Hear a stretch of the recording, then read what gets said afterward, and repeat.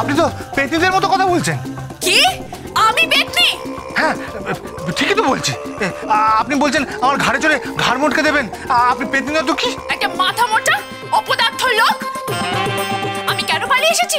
ভুল করেছি ভুল করেছি। আমি ভাবছি এখানে একটা বাথরুম বানিয়ে দেবো। একটা বাথরুম তো আপনার কষ্ট হয় অনেকক্ষণ দাঁড়িয়ে থাকতে হয়। বাথরুম তো বানাবেন আমার শ্বশুর মশাইয়ের পয়সায়।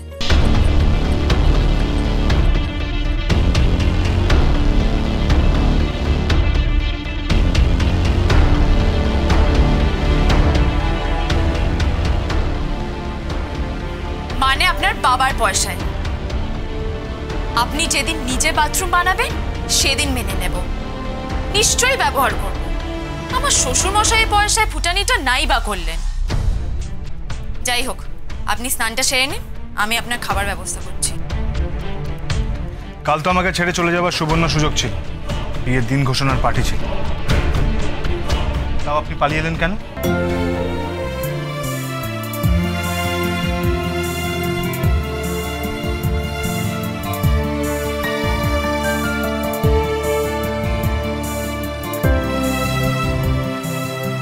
সহজে না আমি আপনাকে ছাড়ছি না। আপনার ঘাড়ে বসে আপনার চুলগুলো পটাক পটাক করে ছিঁড়ে আপনার ঘাড় মুটকে খাব। হ্যাঁ আপনি তো পেতনিদের মতো কথা বলছেন। কি? আমি বেতনি হ্যাঁ ঠিকই তো বলছি। আপনি বলছেন আমার ঘাড়ে চড়ে ঘাড় মটকে দেবেন। আপনি পেতনি তো কি? একটা মাথা মোটা অপদার্থ লোক। আমি কেন পালিয়ে এসেছি? ভুল করেছি ভুল করেছি। আমি পালিয়ে এসে ভুল করেছি সেটা আমি আপনাকে আপনাদের বংশে যিনি প্রথম জন্মেছিলেন তার নাম কি মির্জাফর মুখার্জি ছিল? মির্জাফর মুখার্জি? না না। কেন? আপনি তো কিছুই বুঝতে পারছেন না। আমি অত রাতে এলাম পাঁচিল টপকে আপনার বাড়িতে ঢুকলাম ওইভাবে আর আপনি কিছুই বুঝতে পারছেন না। আপনি জানেন আমি কেন এলাম? কেন? কেন পালিয়ে এলেন কেন? অত রাতে অত কষ্ট করে পালিয়ে এলেন কেন? যাতে ঘুড়ির লড়াইটা জমে যায় আর আপনি আমাকে খোঁজা দিচ্ছেন। আপনি তো ওই প্রীতবাবুকে বিয়ে করে সুখে থাকতে পারতেন। আপনি সুখ মানে বোঝেন? আপনি বোঝেন। আগে বুঝতাম না। এখন বুঝি। কি বোঝেন? সুখ মানে হচ্ছে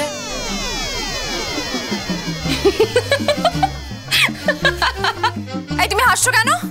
বৌদি তোমরা এই বাথরুমের সামনে দাঁড়িয়ে প্রেম করছ? ও জেঠি জেঠি দেখে যাও দাদার বৌদি বাথরুমের সামনে দাঁড়িয়ে প্রেম করছে।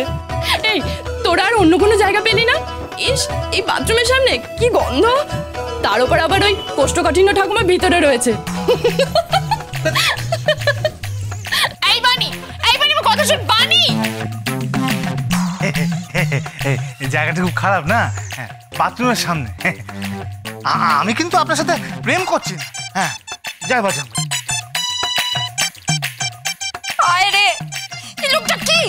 আচ্ছা, জন্য বলে চলে গেল। যেদিন পাবো না, সেদিন ওনার ব্রহ্মচর্য ঘুচিয়ে নিজে গঙ্গা জল দিয়ে স্নান করব।